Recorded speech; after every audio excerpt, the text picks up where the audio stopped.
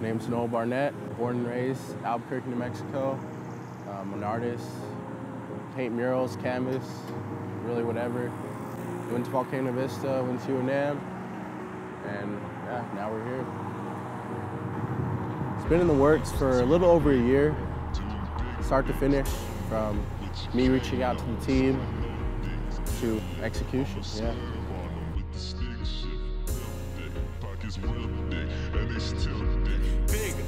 To my big bro, doing big things. Don't know what you can't know, so I know things get lit. I'ma swerve on them with the stick shift, real thick, pockets real thick, and they still.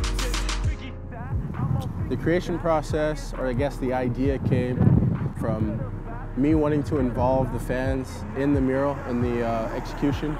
And so obviously you got the United right there. Bold statement, big bold letters.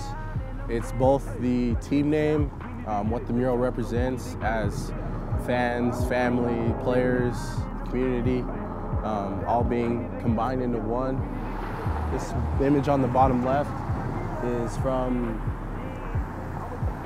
the first goal that was made by Devon. And so after the goal, he was walking towards the fans and threw up the 505. And I just thought that was like the perfect moment to, to throw up because obviously he's from here, throwing up the 505. Like when you're from here, you just kind of have a sense of pride about New Mexico. And so I just thought that was a great image to, to throw up.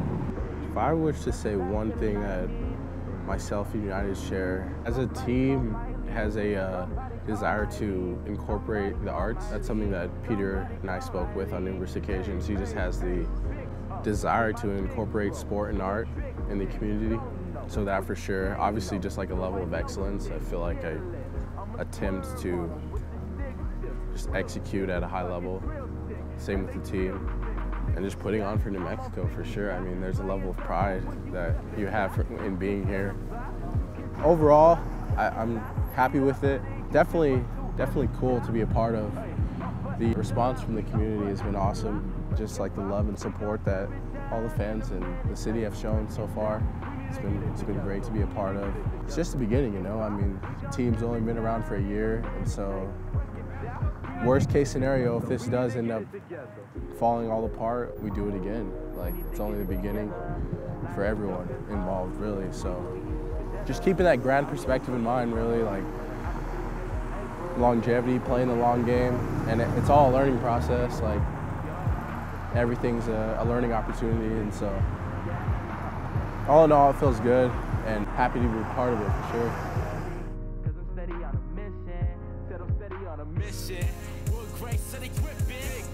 to my big bro, doing big things. What you can't know, so I know things get lit. I'ma swerve on them with the stick shift, real thick, pockets real thick, and they still thick.